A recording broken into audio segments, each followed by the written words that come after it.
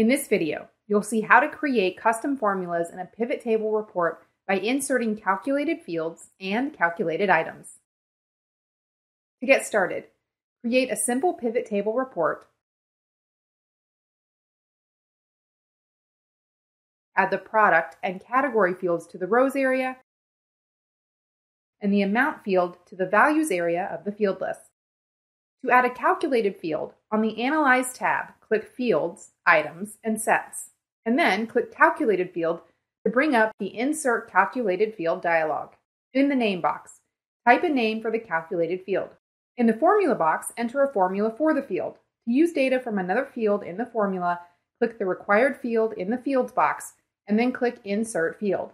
For example, create a formula that calculates a 10% sales tax for each value in the amount field. Click Add, and then click OK. The calculated field appears in the data area of the pivot table report. Change the default field name. Right-click any field cell and select the Value Field Settings item in the context menu. In the Custom Name box, type a new name for the field. For example, Total Tax. Calculated fields are also available via the Spreadsheets API. Now let's switch to the code file. Create a new pivot table or access the existing one to which you wish to add a calculated field.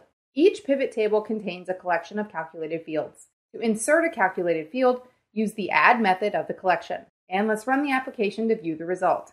After you insert the calculated field, you can modify or remove it. To do this, on the Analyze tab, click Fields, Items, and Sets, and then click Calculated Field to bring up the Insert Calculated Field dialog. In the Name drop-down list, Select the calculated field you wish to modify or delete.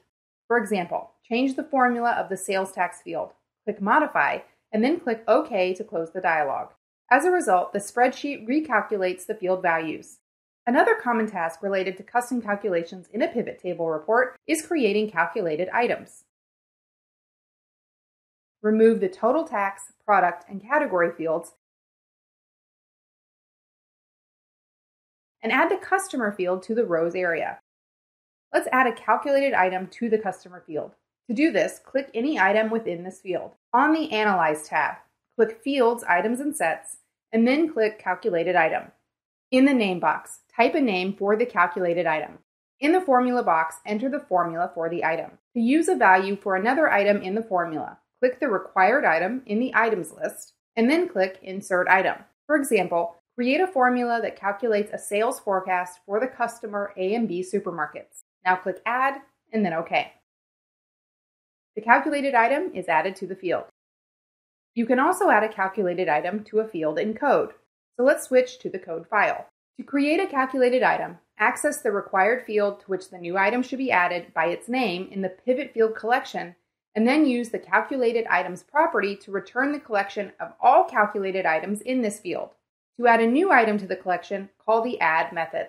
Now, run the application and view the result. After you insert the calculated item, you can also modify or remove it. On the Analyze tab, click Fields, Items, and Sets, and then click Calculated Item to bring up the Insert Calculated Item dialog.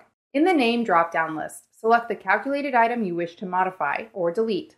For example, change the formula of the A&B Supermarket's sales plan item. Click Modify, and then click OK to close the dialog and as a result, the spreadsheet recalculates the item value. The spreadsheet control also allows you to view all custom calculations used in a pivot table report by displaying them on a separate worksheet.